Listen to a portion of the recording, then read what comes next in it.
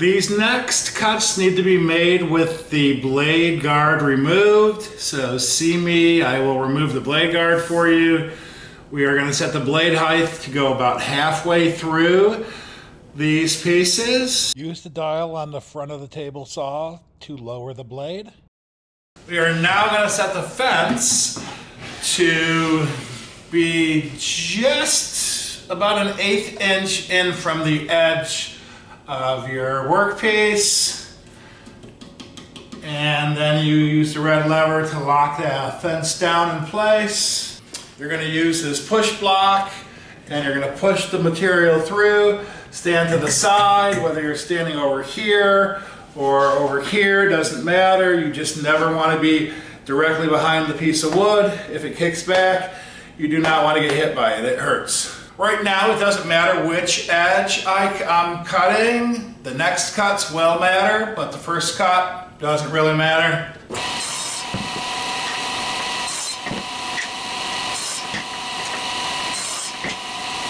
Okay, now we're gonna take the piece with the groove we just cut and we're gonna move the fence a little over to make the groove a little wider. Um, I'm pretty close to the bottom, so I'm gonna move that way so that the next cut cuts uh, up here. So I'm going to take my piece of wood. I'm going to raise the red lever on the fence, going to tap it a little bit until we get about another blade's width set up. Uh, you can put that line right up to the teeth and kind of really see where this is. And then obviously you want to make sure now it doesn't matter which side you cut. So this edge you just cut needs to be facing out. If you have this edge facing in, you're going to kind of mess up your material.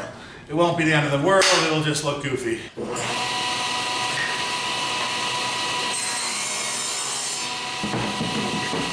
Again, edge that's been cut facing out.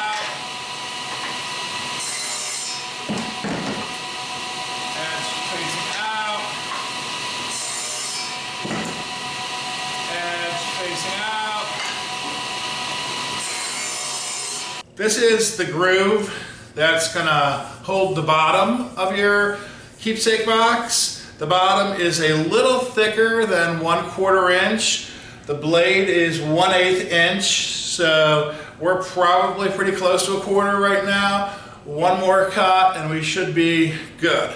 So I'm going to move it again about a blade's width because, you know, if we have a, a 16th inch of extra, that's not going to hurt anything. If it's too small, you just have to move it again and make another cut. So if you don't get it big enough, you just make another cut.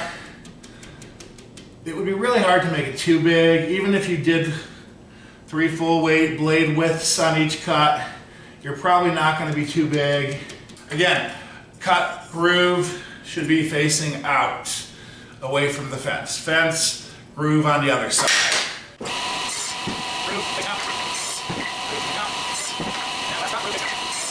Okay, you want to see me get a bottom piece to at least see does that bottom fit in that notch. And I just had it in there, fits good. So if this fits, you're good. If it doesn't fit, you may need to run it through again, move the fence a little bit and make another cut.